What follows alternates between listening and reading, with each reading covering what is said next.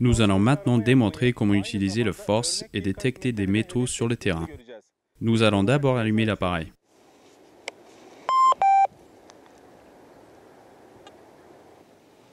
Nous allons d'abord utiliser l'appareil en mode discrimination 2.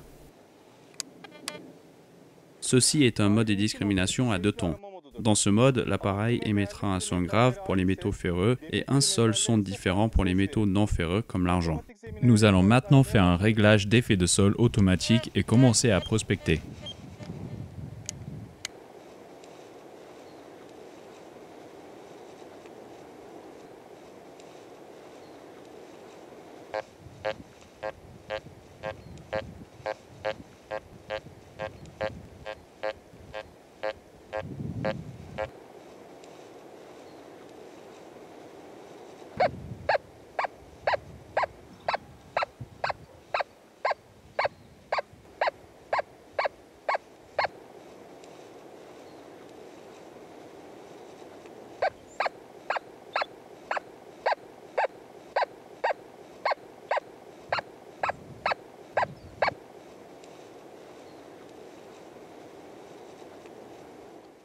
Regardons maintenant le mode de discrimination 3.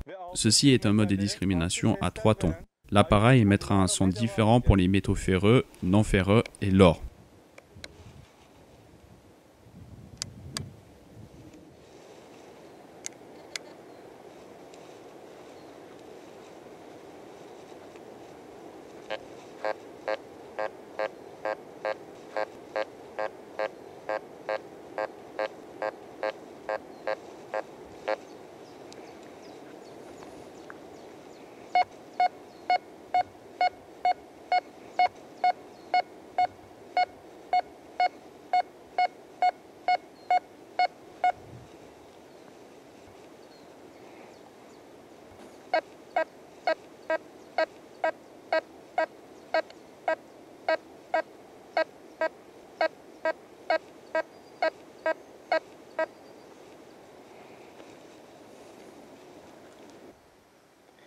Et maintenant, regardons le mode général.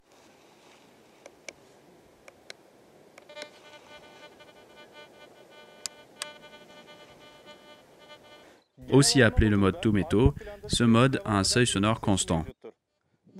Le volume de ce bruit de fond a un impact direct sur la profondeur des détections.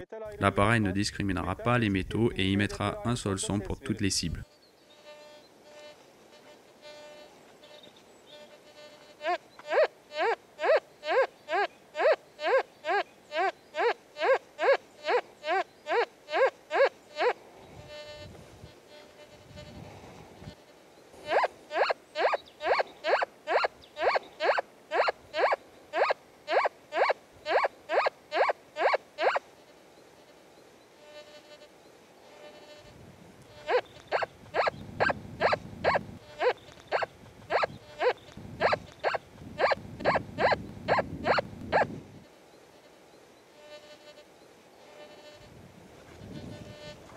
Et maintenant, nous allons vous montrer comment utiliser le Force Core sur sable mouillé.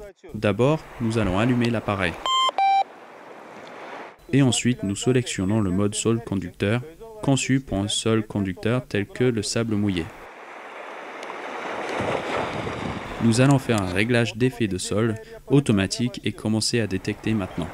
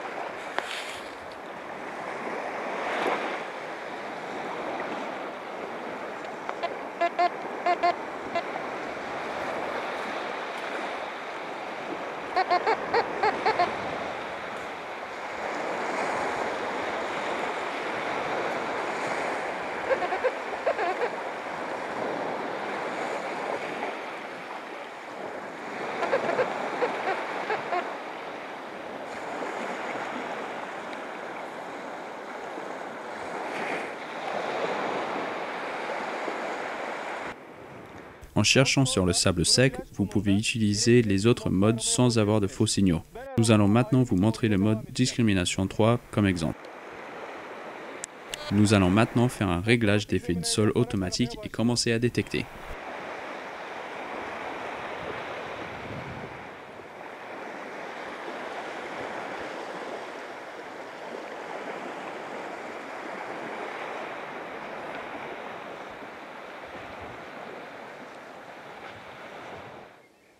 Regardons maintenant comment localiser une cible.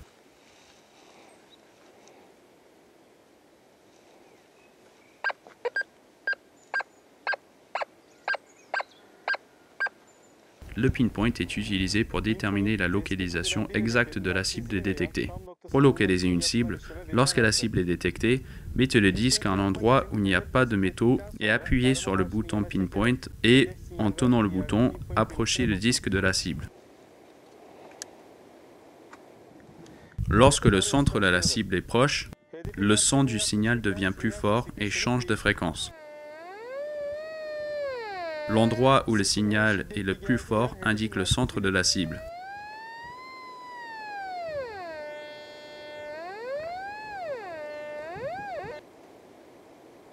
En répétant ce processus à plusieurs angles différents, vous allez pouvoir diminuer la zone à creuser et vous donner une bonne idée de la localisation de la cible.